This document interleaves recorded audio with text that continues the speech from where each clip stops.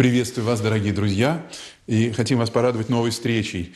Эм, как-то логично, что после двух чаепитий с Натальей Александровной Тополовой э, Сегодня мы пригласили, я хочу вам представить, ее однокурсницу по выпуску из э, с отделения теологии, но путь который совершенно особым образом складывается, ее и научный, теологический путь. Анна Усачева, приветствуем сердечно вас, дорогая Анна. Приветствую. Э, я даже не знаю вас по отчеству, хотя вы преподаватель не с меньшим, а, наверное, даже уже с большим опытом, чем Наталья Александровна, потому что ваши педагогические труды не на нашей кафедре совершаются, хотя я помню некоторые лекции, которые вы по нашей просьбе и приглашению вы читали для наших студентов. Но я пару слов скажу об Анне, что ее путь сложился, э, может быть, более научно, чем э, ее подруги, а я их сразу, конечно, они, нельзя было их не заметить, когда я пришел совсем неопытным еще преподавателем э, по благословению нашего правящего архиерея на отделении теологии. На первой партии сидела такая Анечка с Наташечкой, которые, ну, конечно же, отличались даже от своего очень хорошего курса, особой глубиной знаний, какой-то живостью в глазах и в языке, и разнообразием знаний уже к тому времени, к третьему, четвертому курсу, когда мы познакомились. Но путь сложился совершенно разный. И Анна уже и защитила кандидатскую диссертацию, насколько я знаю. И чем особенно для нас интересен ее опыт, она уже немало потрудилась и в Европе. Это достаточно э, чудное направление, это многосклоняемое Э, угроза для нас или наоборот источник богатства, это Европа с ее образованием зло для нас или добро. Но Анна имеет практический опыт э, трудов там и научных, и, э, может быть, уже отчасти преподавательских. Как-то это совмещается в вашей деятельности, да? да? Э, ну, вот э, мы с Натальей Александровной пытались в одной из передач э, как раз эту тему поднять, насколько э, наука теологическая вообще сейчас не образовательное направление, mm-hmm. которое, несомненно, мы реализуем и говорим да. о его необходимости, и особенно в практической части, но при этом будущее его, насколько мы выяснили в нашем чаепитии таком неформальном, во многом зависит от качества самого научного, научного делания. Хотя при этом развели руками, что очень для этого мало данных. Ну, у нас может да, быть да. и неплохой подбор преподавателей, но очевидно, что есть какие-то ресурсы, которых нет. А чем Европа в этом отношении, ну и для вас оказалась привлекательной? Может быть, это просто этап, который вам mm-hmm. нужно пройти, или это действительно те богатства духовные, научные, которые вы сейчас возделываете, приобретаете и приумножаете? Ну, здесь прежде всего все начинается с там, самых простых элементарных вещей, такие, таких как отсутствие литературы. Потому что, скажем, например, я специалист в области патристики, то есть я занимаюсь исследованием древних э, работ, написанных э, нашими святыми отцами церкви, а, написанных на древнегреческом и латинском языке. То есть для этого мне прежде всего необходимы сами тексты, для того, чтобы я могла их читать.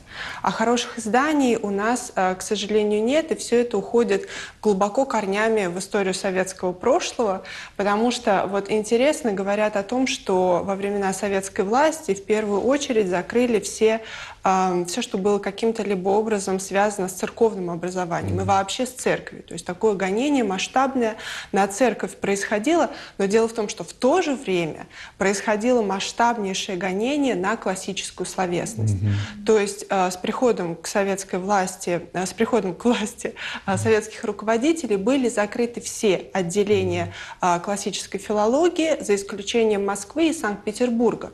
Но даже там, на этих отделениях, был установлен очень э, суровый контроль за тем, что э, преподается, изучается, и поэтому доступа к первоисточникам просто не было. И, собственно говоря, здесь тоже, если поддержать вашу волну и вспомнить, а, немножко вернуться а, в прошлое, и вспомнить о том, как мы с вами встретились, и тоже это было исполнено приятных впечатлений. Я помню наши первые лекции у вас, которые а, наполняли У меня был творческий восторгом. компонент такой достаточно для вас, может быть, но новый. Я, может быть, не мог блеснуть какими-то богословскими знаниями даже на том, что вы уже получили к четвертому курсу, но э, какой-то ресурс литературный, поэтический? Нет, нет, это было очень важно, особенно в отношении того, что эм, я помню, как загрустили мы с Наташей после того, что мы стали думать об аспирантуре, о том, что хочется продолжить это образование, написать диссертацию. И тогда э, еще в то время был э, руководителем, заведующим кафедрой отец Александр Добросельский, mm-hmm. и он нам сказал, что в общем-то, у нас нету богословской аспирантуры, и поэтому вам придется искать э, аспирантуру по каким-то смежным специальностям, например, по истории или философии или что-то еще. Он правду сказал? Да, да, да, абсолютно. Но за этим нужно было или классической филологии, угу. но за этим нужно было ехать в Москву. Угу. И мы так приуныли, потому что Москва это далеко и вроде бы не очень, но мы сейчас об этом знаем. И страшно. А как раз когда вы приехали и стали, угу. э, вот, собственно, с вашим московским опытом показывать, угу. каковы знания угу. э, богословские э, в Москве могут преподаваться, для нас это было очень большим да. значимым этапом. Вот. И, собственно, наш э, с с Наташей, руководитель э, аспирантских работ, отец mm-hmm. Мефодий Люточкин, mm-hmm. он нам сказал, девочки, если вы хотите писать по классической филологии, то вы должны всю литературу э, изыскивать в РГБ, в Российской государственной библиотеке. И действительно у нас... Речь от Рязанского подданства. Абсолютно отречься. Да. Но самое интересное, как потом мы выяснили, даже в Москве этих книг практически нет. А дореволюционный опыт э, скромный, да? Понятно, что 20 век оказался провальным в России mm. для этих переводов. А, а до этого тоже этот период... Э, ну, вы знаете, если говорить о серьезной науке, то есть, скажем, а, дипломную работу ты напишешь на дореволюционном материале. Mm-hmm. Собственно, так я и Наталья, так мы и сделали. Mm-hmm. Но э, когда речь идет об аспирантской работе, кандидатской работе, там уже научная новизна нужна. И поэтому ты уже не можешь не учитывать тех исследований, которые в это время проводились зарубежными коллегами. А учитывая общее пространство международное, теперь уже угу. созданное, хотя оно и поругиваемое, но тем не менее угу. существующее, тогда вопрос только в знании языков э, или все-таки есть еще какие-то необходимые рычаги, при которых возможно осваивать то, чего у нас нет, а там угу. сохранилось? Прежде всего необходимо знание языков, конечно. Угу. И вы знаете, вот в отношении поругиваемого тоже хотелось бы сразу добавить, что я, мне много раз приходилось с этим встречаться, есть некоторое предубеждение а, о том, что православные, они только в России. Но на самом деле стоит сделать шаг за границу России, и ты понимаешь, что, например, те же самые достоинства и, в общем, очень большие достижения современной патристики и библиистики, они вынесены в Европе буквально на плечах тех иммигрантов, которые во времена советской власти или уехали в Париж и основали там э, институт Сан-Серж э, в Париже, или уехали э, в Америку и основали там Свято-Владимирскую семинарию и так далее у нас есть очень сильные центры по исследованию а, и библиистики, и наследия святых отцов а, в Европе, в разных странах, в разных городах. И что интересно, после Второй мировой войны одна из основных инициатив в области культуры и науки, которая была предложена, а, кстати, основателями Второго Ватиканского собора, ну и плюс исследователями более широкими, это было такое движение, которое провозглашено было отцом э, Даниилу «Назад к отцам». Угу. И он и э, его соратники, они под этим подразумевали то, что разрозненная Европа, находившаяся в состоянии глубокого духовного кризиса, сейчас, наконец, должна и может объединиться. И вот этой духовной скрепой должно послужить наследие святых отцов. Очень справедливо. Да. И они э, тогда начали, э, впервые собрали Оксфордскую конференцию по патристике, которая сейчас каждые четыре года собирается, и там очень большое представительство православных исследователей. Вот, собственно, мой путь в патристики с этой конференции начался. Вам удалось поучаствовать в ней и да, да, да. с каким-то уже предложением, идеями? Да-да-да, конечно. Я там участвовала, организовывала э, даже э, такой воркшоп, то есть э, секцию небольшую с международными учеными. А после этого мы издали сборник работ.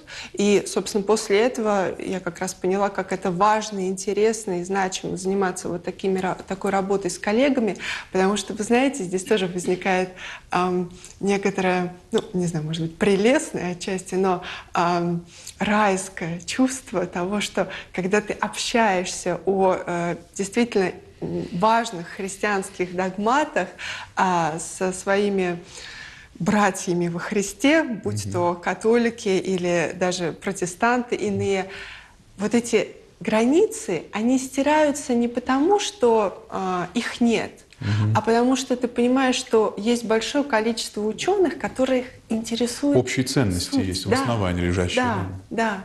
И поэтому вам э, как будто бы ничего не мешает. Или, э, например, много было тоже таких случаев у меня.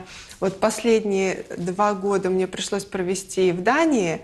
А, то есть стажировка у меня была там, правда, она была от Евросоюза, но я сама выбрала датский университет, потому что а, там были знакомые очень хорошие, и я знала, что там мне удастся тихо и хорошо поработать. Вот. И а, как раз этим местным профессором датским, который был моим принимающим профессором. А, мы с ним отправились один раз, он попросил меня в качестве, быть, э, в качестве помощницы а, отправиться с ним на э, лекцию открытую для протестантских батюшек. Mm-hmm. И лекция была э, посвящена как раз проблеме предопределения, которая, как мы знаем, у нас является ключевым, одним из ключевых ну, сложных да, моментов. Да, по нашим с... позициям с ними, да. Да, да, да. И я была очень, я говорю, слушай, может быть, все-таки такая тема, если ты спросишь там моего мнения, тем более ты читаешь не ученым, а батюшкам, он говорит, подожди, подожди, мы с тобой поедем, ты все увидишь сама. А, значит, мы приезжаем, он начинает свою лекцию, а, основанную как раз на обзоре святоотеческого наследия. И вот а, этим 50-60 батюшкам он основываясь на э, святоотеческом наследии, вещает, что никакого предопределения нет, что у святых отцов мы этого не находим, а, а потом вдруг а, переводит внимание на меня и говорит, кстати говоря, хотел вам представить вот свою коллегу, она православный э, исследователь-патролог, а, можем тоже спросить, э, нашла ли она какие-нибудь примеры э, значит, предопределение у святых отцов, потому что он больше специализируется по раннехристианским писателям, а я по четвертому и дальше пятому, шестому веку. Нет. Нет, но э, можно ли мне какую-нибудь клетку, чтобы спастись, не знаю, от тухлых яиц и яблок Может быть, помидоров? напротив, должно было быть воодушевлением миссионера, который сейчас перекует целых 60 пасторов. Так вот, самое интересное, что пастор, я ожидала, в общем, бума какого-то. Они с большим интересом стали задавать вопросы. Действительно, слушайте, а, а что вы посоветуете почитать? Потому что вот как-то у нас сложилось, вот мы с лютеранской традицией знакомы, читали потому что так интересно. В общем, мы закончили эту лекцию тем, что э, предложили им список литературы, оставили свои имейлы, пожалуйста, об, оставайтесь э, в взаимоотношении, общении с нами, если есть вопросы. То есть э, я к тому, что наша наука, она тоже несет как раз то самое миссионерское слово, mm-hmm. а, о котором, в общем, сидя в своем кабинете, ученый не подозревает mm-hmm. иногда, но тем не менее свои плоды. Скажите, с этим вашим трудом в Дании, как оказалось это возможным? Все-таки вы э, это искали или вы оказались востребованы какими-то направлениями, которых у них была ну, если не вакансия, то, mm-hmm. во всяком случае, ожидание соратников. Нет, вы знаете, я, э, то есть э, к тому моменту, как я подала заявку на датский проект, то есть, вернее, он был не датский, он был это э, вообще, на самом деле, одна из самых престижных европейских э, стажировок. Mm-hmm. Мария Сокольская-Кюри, э, Individual Fellowship, то есть э, персональный грант. Mm-hmm. Э, от Евросоюза. А до этого у меня уже был достаточно продолжительный э, послужной список всевозможных международных участий в конференции, организации, публикации сборников и так далее, там кратких стажировок э, в Париже, в Ирландии. Но э, последний э, этап, который как раз и предварил вот эту датскую стажировку, это было участие в международной конференции, посвящен, посвященной Оригену, она называется «Оригиниана». Вот. А, каждые четыре года тоже она проходит. И а, как раз в, тот, э, в той конференции, на, на той конференции, где я принимала участие, она проходила в Дании. И я познакомилась вот с этим профессором, и он говорит, слушай, так интересно все, что ты рассказываешь, у нас вообще очень мало патрологов, может быть, ты как-нибудь могла бы приехать и прочитать курс лекций для моих студентов. А, опять же, я очень удивилась, потому что студенты были в основном PhD, то есть аспиранты и магистранты, уже достаточно опытные студенты. И зачем я нужна в протестантской стране? Первый вопрос, который они мне задали, я помню, был, а вы правда христианка? И правда православная? Я так порылась, достала свой крестик и говорю, да, могу символ веры прочитать. Но символ веры у нас с ними один, конечно. В общем, эм, с этого курса лекций все и началось. Интересно. Он стал настаивать на том, чтобы я подала заявку на этот проект. Угу. И причем а, эту заявку в то время я преподавала в ПСТГУ, в церковной аспирантуре, еще работала редактором. То есть три работы в Москве, никакого свободного времени. Приходилось ее лепить между Я лекциями. ее лепила буквально вот на коленках, где-то там а, занимаясь а, какими-то другими вещами. Угу. Вот. И я была абсолютно уверена, что а, он будет провальным, потому что, собственно, рассмотрение этого проекта было в 2010 году, как, как раз когда у нас начались вот эти сложности с Европой. Угу. То есть там э, вопрос о Крыме встал, да. Олимпиада в Сочи. И э, было очень даже смешно, потому что когда э, мне на имейл пришел ответ, а, а у них, знаете, еще они же любят 20 степеней защиты. Они написали, что ответ по вашей заявке поступил, можете а, зарегистрироваться там, залогиниться здесь, и здесь, и здесь, и тогда вы его узнаете. Ну, я знаю, что он все равно отрицательный, и сразу написала Андерсу о том, что спасибо вам большое за помощь, но вы же знаете, что ничего не получилось. То есть я не стала смотреть, потому что мне было некогда. И он мне через час пишет возмущенное письмо. Ты что, с ума сошла? Тебе нужно срочно подписывать контракт в течение там, этой недели, иначе э, ничего не получится. Вот. То есть, эм, причем проект был посвящен исследованию наследия святителя Григория Богослова. Угу. Ну зачем вдруг европейцам понадобилось изучение Григория Богослова и... Э, Русской девушкой. Да, и большие деньги за это платить. Зачем? Но вот оказывается, что... Удивительно. Э, поневоле напрашивается вопрос, что один из главных предметов в нашем теологическом рязанском образовании должен быть язык. А что за, во-первых, чудотворные эти языки? Это что-то древнеарамейский? Какой вы изучали более-менее в основательном? Ну, прежде всего, наш древнегреческий, потому что язык нашего священного писания и э, язык наших святых отцов. Потому что здесь тоже важно, конечно, сказать э, о том, что как любой человек, который знаком э, хоть с каким-либо иностранным языком, и если он хоть раз в жизни читал, например, Шекспира в оригинале или какое-то еще произведение в оригинале, он знает, что очень важен контекст. И всякий раз, когда мы читаем перевод, мы читаем перевод не просто на наш язык, но на нашу философию, на наш образ жизни, потому что все концепции, они э, живут в языке, их невозможно перевести. И поэтому, если хочешь познакомиться э, ну, со священным писанием, здесь еще, конечно, очень много комментариев и так далее, но если уж речь идет о святоотеческом наследии, то абсолютно невозможно его читать вне контекста, если ты хочешь действительно прочитать и понять. Вы знаете, мне даже было э, в некотором смысле очень страшно, потому что Первое впечатление, когда я приехала в Данию, мне дали мой офис, поставили большой компьютер сказали, все, все, что ты хочешь, у тебя сделано. Теперь сиди, занимайся, пиши свою книгу про Григория Богослова, про его богословские речи. И тогда уже, в общем, имея продолжительный опыт работы с древнегреческими текстами, и святоотеческими, и философскими, я думаю, ну хорошо, я должна сейчас отлично все сделать. Открыла Григория Богослова и начала его честно читать. И я честно сказала себе, что я ничего здесь не понимаю. Потому что э, если я смотрю на эти термины, и э, у меня сразу возникает огромное количество вопросов, потому что я понимаю, что они философскую нагрузку несут неимоверно э, обширную. Mm-hmm. И поэтому э, вот те шесть веков, начиная там с шестого века до Рождества Христова, Платона, Аристотеля, и заканчивая четвертым веком, веком по Рождестве Христовом, то есть, собственно, Григорием Богословом, огромное количество философской и научной, в том числе медицинской, лингвистической, они все это использовали. Мудрости а, буквально текст этим насыщен и перенасыщен. И я должна в этом разбираться для того, чтобы честно а, как-то это интерпретировать. Угу.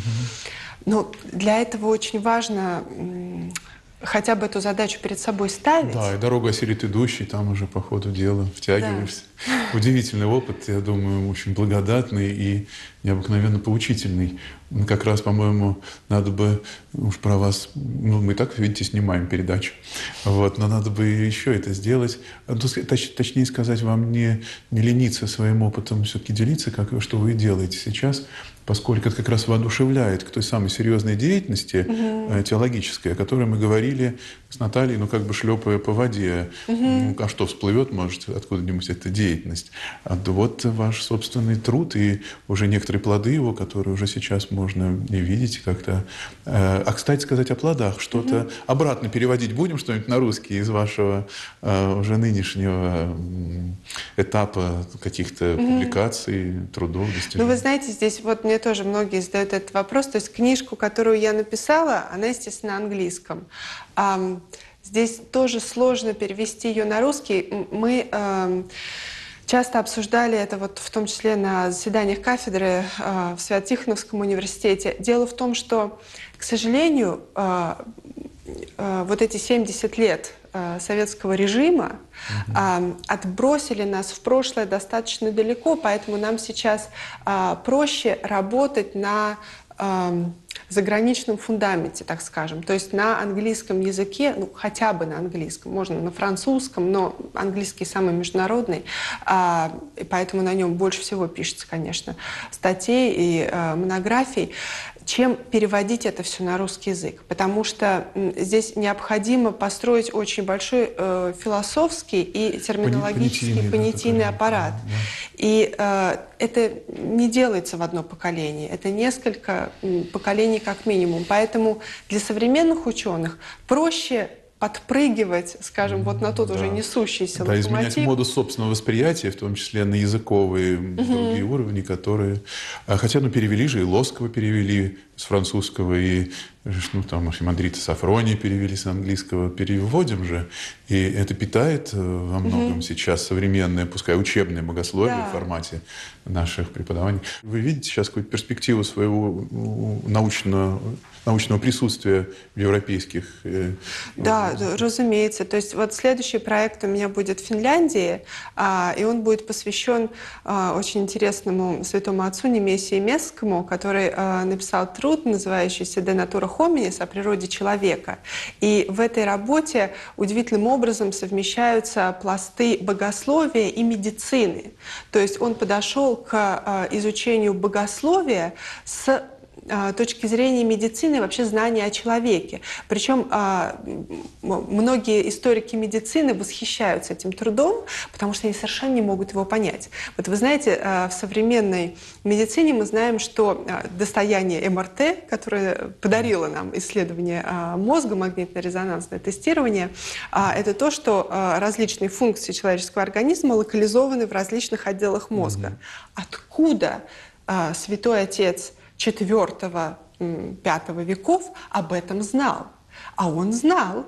И э, он описывает вот эту локализацию различных функций не только с точки зрения медицинской, но скорее с точки зрения того, как великолепно и прекрасно божественное творение. И именно поэтому историки медицины э, отреклись практически от изучения этого текста, потому что они говорят, он до такой степени насыщен богословской терминологией, что мы сдаемся. Ну, это самая настоящая христианская антропология, получается, богооткровенная, да, да, да. благодатная, связанный тесно с мировоззрением таким угу. религиозным, скажем, христианским, и при этом это как раз ответы для себя, находящие в самой природе.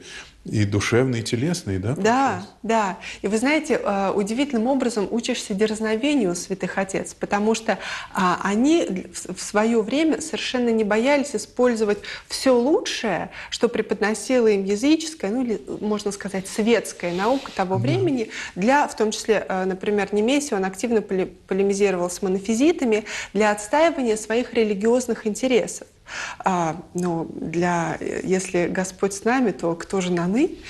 Помоги вам Господь, дорогая Анна, и очень надеемся, что все-таки э, с каких-то вершин этого древа вами лелеемого, научного, все-таки какие-нибудь э, верхние фрукты достанутся и э, нашим российским богословом и теологическим отделением. Благодарю Спасибо, вас сердечно Господи. за, и за ваши труды, и за э, столь интересный и увлекательный для нас рассказ. И вас, дорогие друзья, за ваше внимание. Храни вас Господь. Всех благ. Всего доброго.